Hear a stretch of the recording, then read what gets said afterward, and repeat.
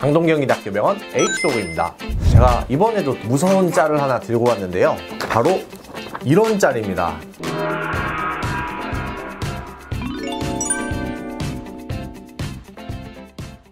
교수님 안녕하십니까? 짤방을 확인하기 위해서 신장내과 김한균 교수님 모셨습니다. 교수님 이런 짤 인터넷에서 보신 적 있으신가요? 투석실에서 저희가 자주 보던 니들이네요. 그래서 제가 한번 가져와 봤는데요. 교수님 실제로 이런 걸 쓰시나요? 그쵸. 실제로 쓰는 바늘이긴 한데 진짜 네. 크죠, 그쵸? 일반적으로 쓰는 이 주사 바늘하고 보니까 10배 정도 차이가 날 것 같습니다. 이렇게 두꺼운 바늘 혈액 투석은 좀 어떤 사람들이 맞게 되나요?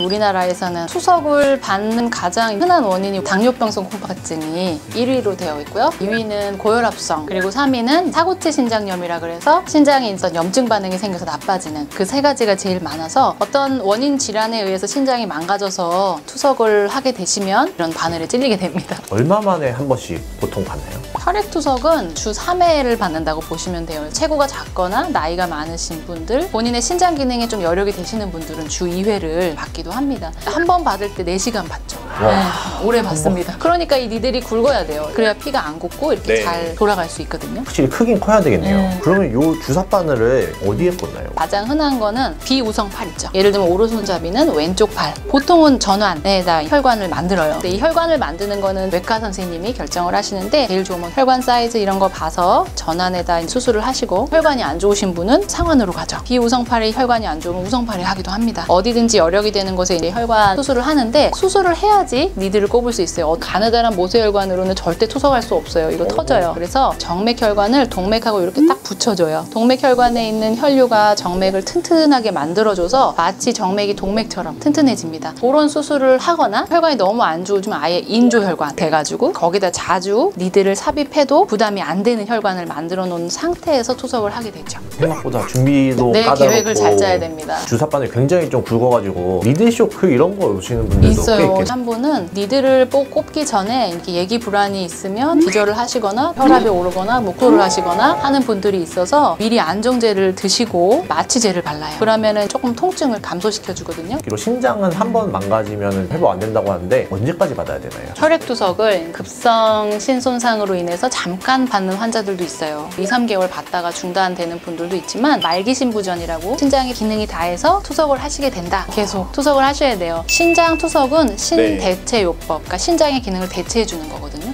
그래서 얘를 안 하면 살 수 없어요. 나는 얘 하기 싫다. 그러면 이식을 하시면 돼요. 혈액 투석 하는 게 전체 피를 싹 다 뺐다가 그렇죠. 하는 거라고 네, 보는데. 네. 슬슬슬 빼서 걸러주고 넣고 이렇게 생각하시면 되는데 투석기를 보면 이렇게 필터가 있어요. 그 필터를 통과하면서 전체 몸에 있는 피를 깨끗하게 해줘서 들어가고 투석하실 분은 소변이 안 나오잖아요. 필터를 통과하면서 물도 빠지고 요독도 빠지고 나쁜 물질을 그냥 필터로 싹 걸러준다. 하지만 100% 우리 신장만큼 네. 걸러주지 못해요. 대장암 환자들보다 평균 수명이 짧습니다.